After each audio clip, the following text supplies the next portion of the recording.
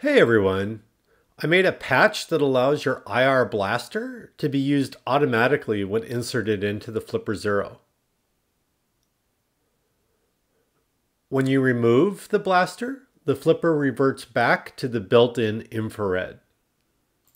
I made this patch for both official and custom firmware. Thanks to Jeff for posting the idea in the YouTube comments on last week's video. In this video, I'm going to teach you how to apply the patch and we'll discuss the various ways to deploy the firmware on your Flipper Zero. Let's get started. The video description has a link to my IR Blaster tutorial.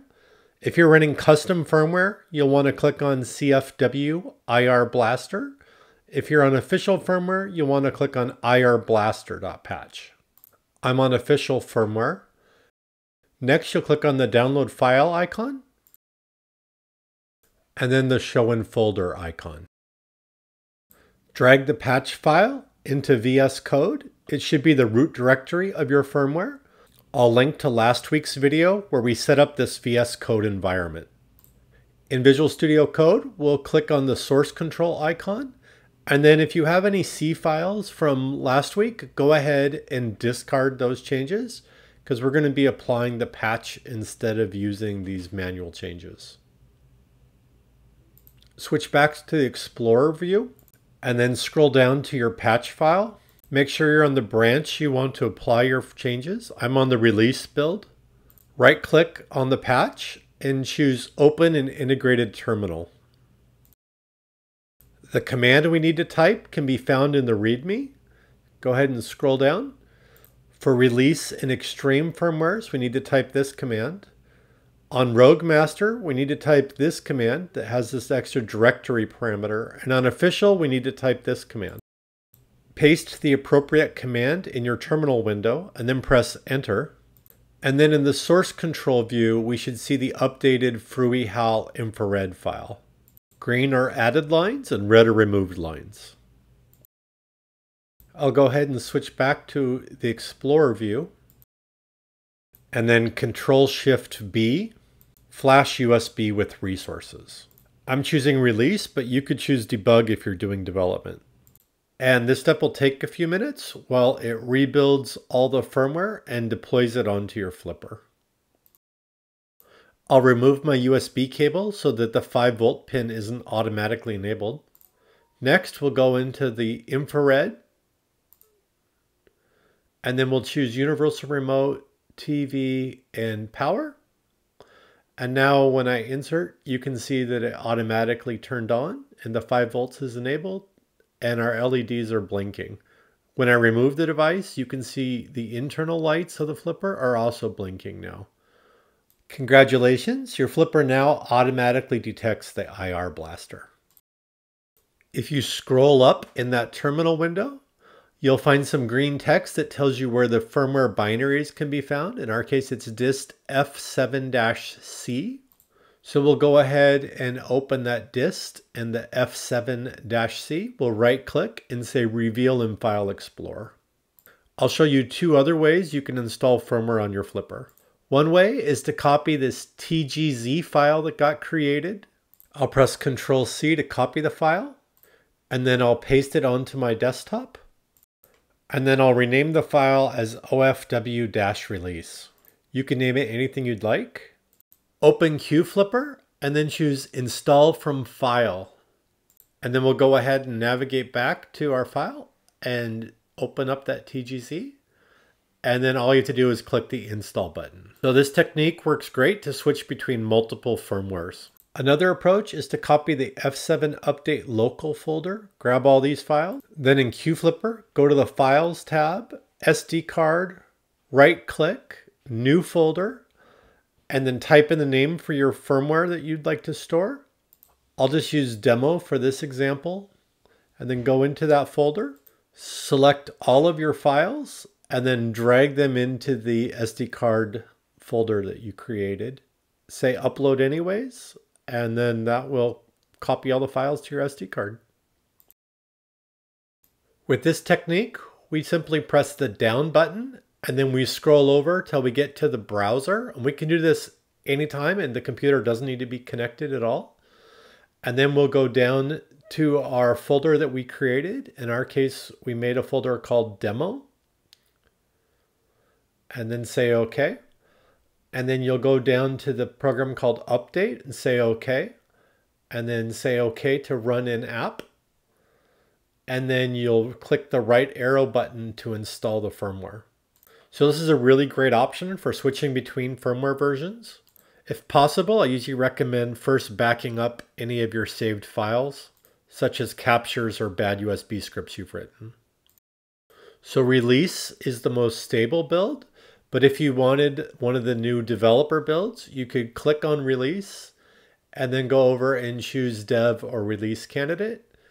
And then at this point, say migrate changes. And this will end up stashing your current changes to the infrared.c and then applying them again to the new file. And then Control Shift B flash USB with resources to build that new branch.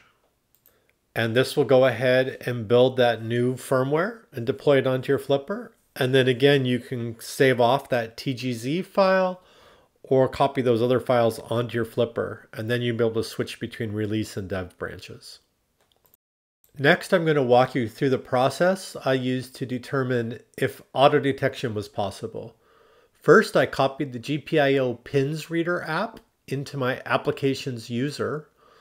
And then I opened the GPIO reader.c file. I did Control Shift B, launch app on Flipper. And this installed the app on my Flipper. You can use the left and right buttons to switch between which pin you're looking at.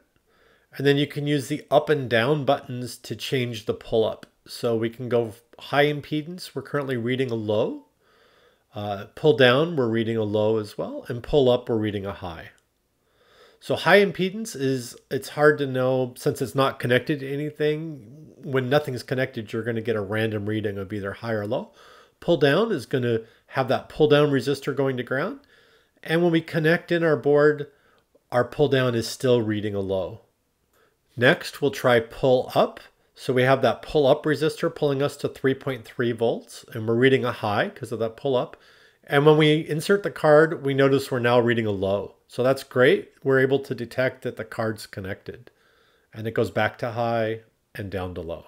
So next we'll plug in our USB cable so that the 5 volts is enabled. And I'll go back into the reader and we'll switch this to pull up high. And then when we connect it, we get pull up is now reading a low and the light's on because of the 5 volts.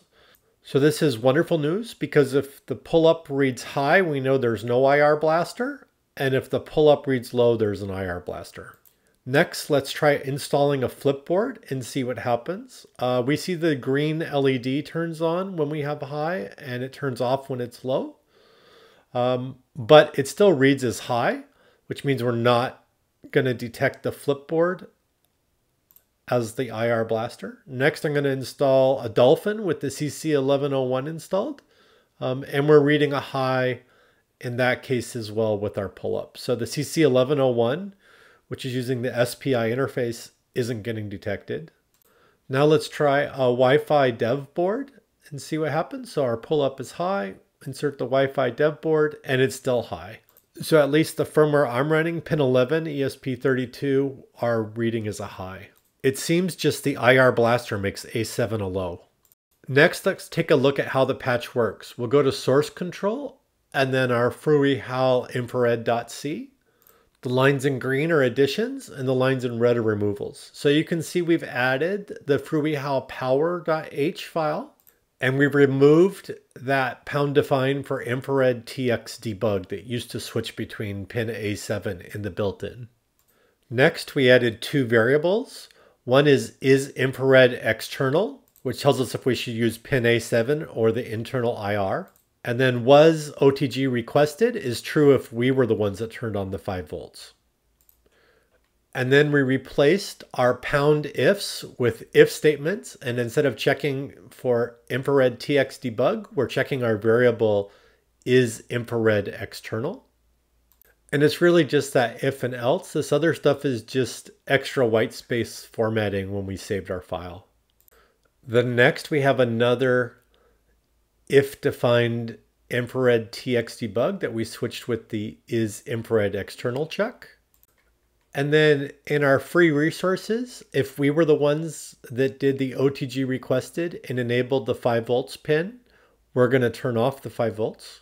And then instead of setting the GPIO infrared TX to analog, we set the pin based on if the infrared was internal or external. So we'll use PA7 or GPIO infrared TX. And then every time we're transmitting an infrared signal, we do this init with pin A7 using that pull up. And then we set is infrared external so that a low returns true and a high returns false and then we set pin A7 back to analog. If we detected the module, then we set was OTG requested to true if OTG is currently false. And then if OTG is requested, we turn on the 5 volt pin and wait 100 milliseconds. And then finally, instead of using GPIO infrared TX, we set GPIO pin based on if the infrared is internal or external, and we'll switch between PA7 and infrared TX. I hope you enjoyed this video. Please take a moment to like and subscribe. Now you know how to get your IR blaster to get automatically detected by the Flipper Zero. You now know multiple ways to deploy firmware to your Flipper Zero, and you understand how the IR detection module works. If you have any questions, please leave a comment below or on my Discord server.